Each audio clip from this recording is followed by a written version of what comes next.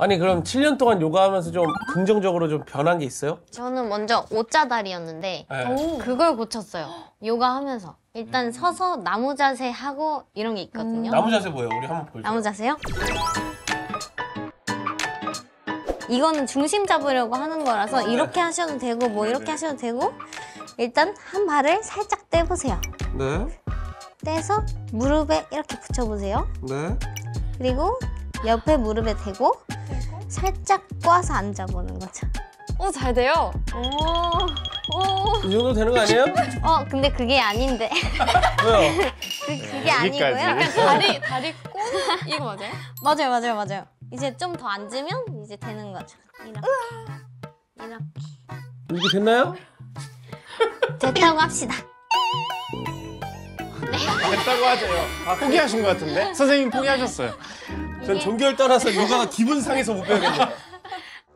아니 옷자다리 말고 또 좋아진 점 뭐가 있어요? 침을 안 맞아도 돼요. 제가 한의원에 침을 맞으러 다녔었는데 네. 침을 안 맞으러 가도 돼요. 어, 진짜 요가 전도사님이신데. 진짜 저, 너무 저 좋아. 어제도 부항 떴거든요. 아시겠지만 부항 엄청 네. 좋아해요. 저 부항을 엄청 떠요. 왜냐면 하도 몸이 맞아, 걸려서 결론이 났어요. 요가는 해야 된다.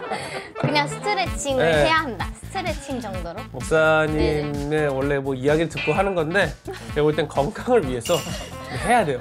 목사님도 지금 고민이 없는 걸로. 해결. 고민 해결. 굽이 등이 많이 굽었어요. 네, 네, 여기. 목사님도 맨날 또 이렇게 컴퓨터 앞에만 네, 계시니까.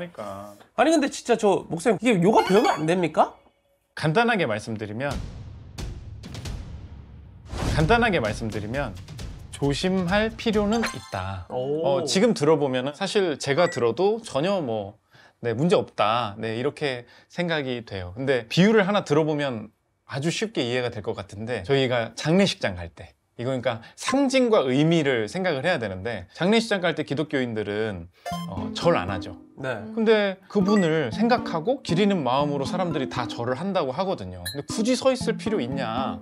그냥 절하면 되는 거 아니냐? 제가 장례에 대해서 되게 깊게 공부를 해본 적이 있는데 내가 한 번 절하고 두 번 절하는 이 모든 하나하나에 의미가 담겨 있어요. 신을 불러드리고 두 번째 절할 때는 뭐 이 뭐 신을 위로하고 이런 구체적인 내용들이 있어요. 그러니까 어떤 특정한 동작을 할 때 그 상징이나 그 의미가 담겨져 있는 경우가 있다. 그러니까 기독교인들은 당연히 추모를 하지만 그 동작은 따라하지 않죠. 근데 요가도 마찬가지인데 대부분의 동작들이 제가 볼 때는 스트레칭과 거의 유사한 다른 데서도 할 수 있는 동작들인 것 같아요. 그런데 그 뿌리 자체가 힌두에서 이제 인도가 이제 카스트 제도가 많이 있었잖아요. 그런데 내가 이 신분 상승을 하지 못하고 내 삶에 갇혀 있는데 어떻게 해야 되냐? 내가 이 몸을 명상하고 다스리면서 내 안에서 자유를 찾겠다 라는 영적인 의미가 사실 담겨 있는 동작들이 많이 있다는 거죠. 그러다 보니까